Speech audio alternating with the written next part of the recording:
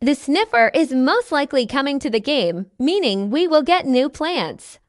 Let's go over some possible additions to the game. Also, credit to Access granted for sharing the original Reddit post. The plants from the video that won't work according to Mojang's post are boomfruits, chilies, lemons, coffee, and chestnuts. Mojang says the plants will only be decorative, so these are out of the question. Some plants they could add are the glare flower, which gives off light in the dark, different colors for leaves. For example, oak leaves can turn orange or yellow in a different biome. And Tarzan vines, which seem very fun to use. What plants do you have in mind?